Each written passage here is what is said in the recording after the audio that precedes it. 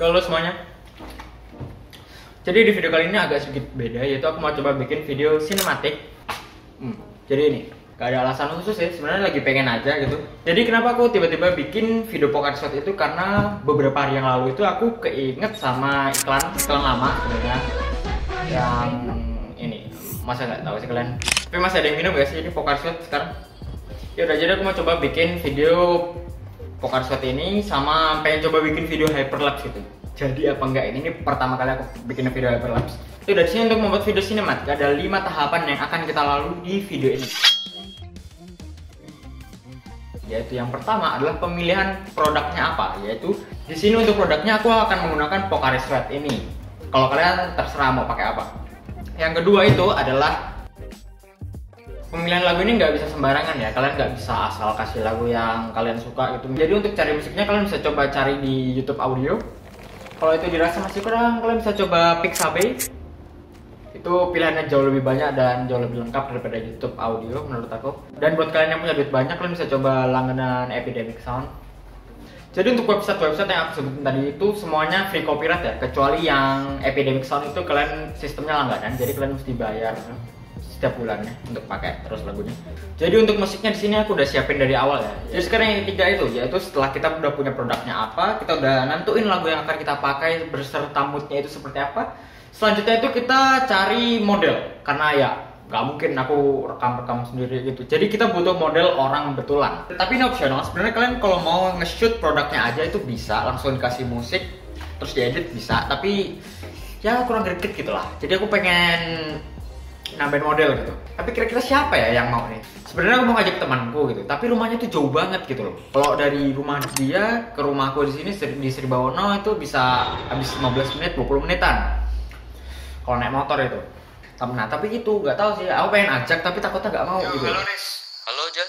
Gimana gimana? Nah, jadi kan aku mau bikin video nih. Kamu mau ikut gak? Oh iya iya iya. Bisa bisa. Kapan nih kapan? Ya, besok. Hmm besok ya. Yaudah besok aku langsung ke rumahmu ya. Oh ya, siap. Oke, step terakhir dari pre-production ini yaitu menyiapkan alat-alatnya. Kamera mahal, gimbal. Hell no, kita cuma pakai kamera dari HP aja. Yaudah, sampai jumpa di lapangan.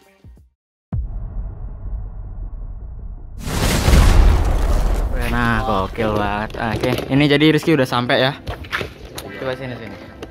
Rumahmu tuh di mana, Riz? Mataram baru. Mataram Baru. Mataram Baru itu berapa gak jauh banget itu. Itu naik banget motor apa enggak? Abis 15 menitan lebih itu. Iya lebih itu. Ya, tapi karena lama banget itu jadinya ya Rizky nggak naik motor Rizky lari lari oke ini sekarang sekitar jam setengah 8 pagi ini kita udah sama Rizky mau langsung aja ke lapangan mumpung masih pagi juga oke jadi kita udah sama Rizky ya kita langsung mau ke lapangan aja nih sama kita mau lihat gitu Rizky katanya tuh larinya eh, cepet banget gitu Kayak badai bang. kayak badai ayo dah ayo coba coba Riz lari lari. Oh ini Rizky ini mau perform ya katanya larinya cepet banget gitu. Ayo coba Riz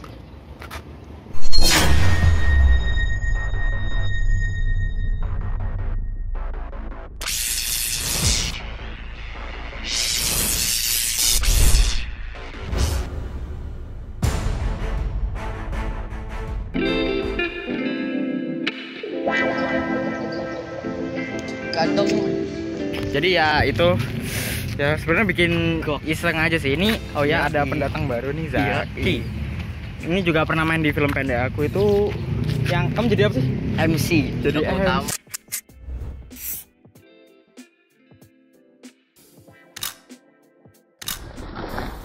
Yo, Eh, satu dua tiga satu dua tiga Sabar goblok. Sabar Joy, kamu jangan satu dua tiga dulu. Aku nyiapin dulu. satu dua ah, ini lagi keren ya satu dua tiga Oke bang, ini behind the scene bang.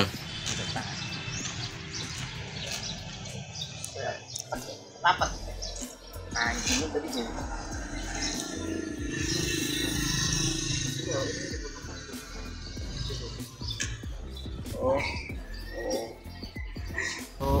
Satu woi kayak satu dua tiga. Satu dua tiga. Satu dua tiga. Satu dua tiga.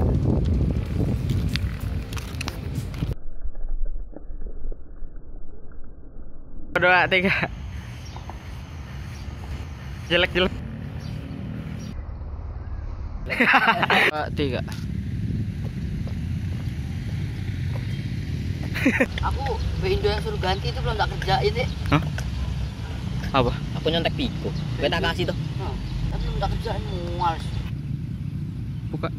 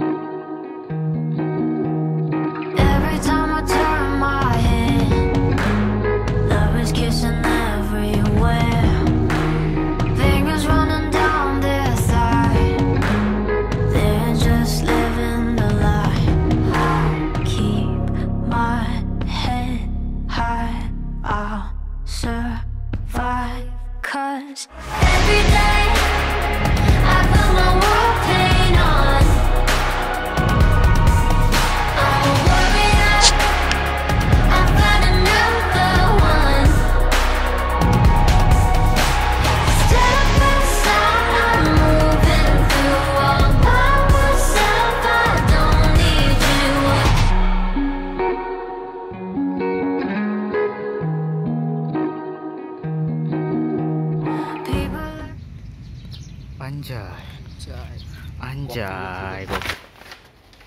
jadi itu dia hasilnya bagaimana menurut kalian kalau menurut aku sih masih kurang ya tapi itu bukan salah di Iya, udah selesai bang. Ya. Yo, ki. Panas lo bang. Itu pas proses pengambilan gambarnya sih menurut aku. Yang ya gimana gitu. Misalnya pas scene hyperlapse tuh itu menurutku jelek banget. Objeknya tuh nggak pas gitu. Yang tadinya di tengah terus naik naik itu itu eh, jelek. Nah itu tuh soalnya tuh poppingnya tuh di lapangan itu nggak nggak rata gitu. Jadi ada sebagian yang kelihatan ada sebagian lagi nggak kelihatan gitu ketutupan rumput gitu. Jadi susah buat ngepasin kaki tripodnya itu. Oh ya tapi beruntungnya itu pas syuting itu kondisinya tuh lagi hujan gitu. Jadi jadi beberapa scene itu ya spontan aja gitu mumpung lagi hujan. Gitu. oh iya jangan lupa juga follow kedua IG teman aku ini. Ada di sini Rizky sama Zaki ini yang udah mau jauh-jauh gitu loh. Ke sini cuma bikin video nggak jelas gitu. Yaudah, segitu saja untuk video kali ini. Like, comment, dan subscribe buat yang mau. Dadah